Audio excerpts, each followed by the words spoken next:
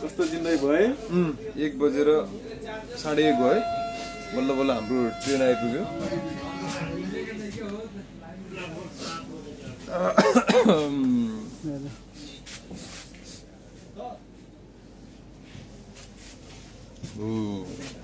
train हो कि यो कवर खाना